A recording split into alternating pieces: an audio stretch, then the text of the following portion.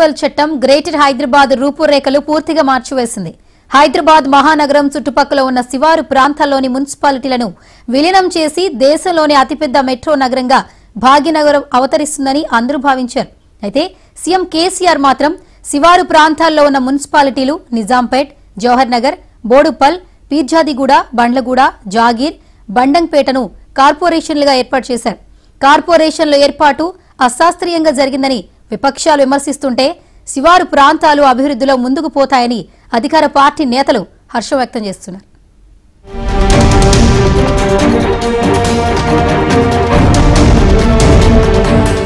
తెలంగాణ కొత్త మున్సిపల్ చట్టం గ్రేటర్ హైదరాబాద్ రూపురేఖలు పూర్తిగా మార్చేసింది. హైదరాబాద్ మహానగరం చుట్టుపక్కల ఉన్న శివారు ప్రాంతాలలోని మున్సిపాలిటీలను విలీనం చేసి దేశంలోనే అతిపెద్ద మెట్రో నగరంగా భాగ్యనగరం అవతరిస్తుందని అందరూ భావించారు. అయితే సీఎం కేసీఆర్ మాత్రం శివారు ప్రాంతాలలో ఉన్న మున్సిపాలిటీలు నిజాంపేట్ జవహర్ నగర్ బోడుప్పల్ పీర్జాదిగూడ బండ్లగూడ జాగీర్ బడంగ్పేట్లను కార్పొరేషన్లుగా ఏర్పాటు చేశారు. కార్పొరేషన్ల ఏర్పాటు అశాస్త్రీయంగా జరిగిందని విపక్షాలు విమర్శిస్తుంటే శివారు ప్రాంతాలు అభివృద్ధిలో ముందుకు పోతాయని అధికార పార్టీ నేతలు హర్షం వ్యక్తం చేస్తున్నారు.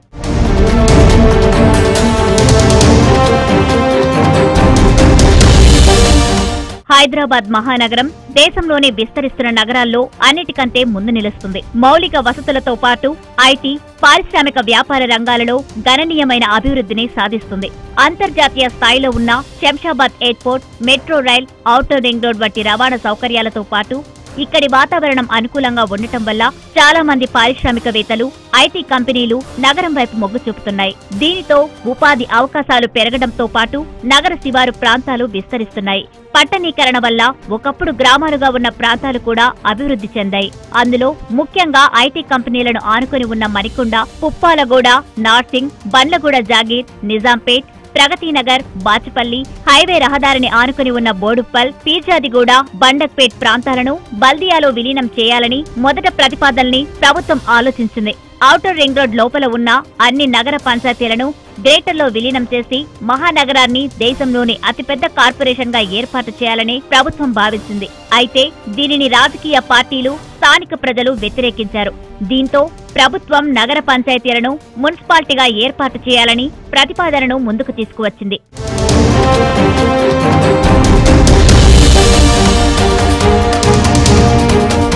కొత్త మున్సిపల్ చట్టంతో నిన్న మొన్నటి వరకు నగర పంచాయతీలుగా మున్సిపాలిటీలుగా ఉన్న ప్రాంతాలు ఒక్కసారిగా కార్పొరేషన్లుగా అవతరించాయి. నగరంలో భాగంగా ఉన్న నిజాంపేట్ ప్రగతినగర్ బాచుపల్లి పుప్పాలగూడ మణికొండ బోడుప్పల్ పీర్చాదిగూడ బడంగ్పేట్ బండ్లగూర జాగిర్లు కార్పొరేషన్లుగా ఏర్పడ్డాయి. ఇప్పటి వరకు గ్రేటర్ హైదరాబాద్ మున్సిపల్ కార్పొరేషన్ ఒకటి మాత్రమే ఉండేది. ముంబై తరహాలో నగరం చుట్టూ మరో ఆరు కార్పొరేషన్లు కొత్తగా ఏర్పడ్డాయి. కార్పొరేషన్ల ఏర్పాటును అధికార టీఆర్ఎస్ పార్టీ స్వాగతిస్తున్నా విపక్షాలు మాత్రం పూర్తిగా వ్యతిరేకిస్తున్నాయి. నగర పంచాయతీలను ఒక్కసారిగా కార్పొరేషన్లుగా ఏర్పాటు చేయడం శాస్త్రీయంగా జరగలేదని ప్రతిపక్ష పార్టీలకు చెందిన నాయకులు ఆరోపిస్తున్నారు. కార్పొరేషన్లుగా ఏర్పడిన ప్రాంతాలు వేగంగా అభివృద్ధి చెందుతాయని ఇప్పటికే నిజాంపేట్ మణికొండ పుప్పాలగూడ బోడుప్పల్ వంటి ప్రాంతాలు నగరంలో కలిశాయని పార్టీ నేతలంటున్నారు.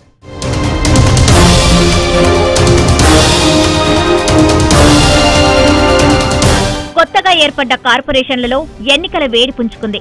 ఆగస్టులో జరగనున్న మున్సిపల్ ఎన్నికల్లో కొత్తగా ఏర్పడ్డ నగర శివారులోని కార్పొరేషన్లలో కూడా ఎన్నికలు జరగనున్నాయి. మేడ్చల్ మల్కాజ్గిరి జిల్లాలో నిజాంపేట్ జవహర్ నగర్ రెండు కార్పొరేషన్లు కొత్తగా ఏర్పడ్డాయి. రంగారెడ్డి జిల్లా పరిధిలో బోడుప్పల్ పీర్జాదిగూడ బండక్పేట్ బండగూడ జాగీర్ నాలుగు కార్పొరేషన్లు ఏర్పడ్డాయి.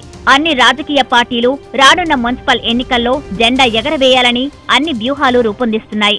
అధికార టీఆర్ఎస్ పార్టీ ఇప్పటికే సభ్యత్వ నమోదు పేరుతో ప్రచార కార్యక్రమాన్ని నిర్వహిస్తోంది. బీజేపీ పట్టున్న ప్రాంతాలలో గెలవాలని చూస్తోంది. కాంగ్రెస్ నేతలు శివారు ప్రాంతాలలో పూర్వ వైభవం తీసుకురావడానికి ఐక్యత రాగాన్ని ఆలపిస్తున్నారు. రిజర్వేషన్ల ప్రకటన తర్వాత కొత్తగా ఏర్పడ్డ కార్పొరేషన్లలో వేడి మరింత పుంజుకుంది.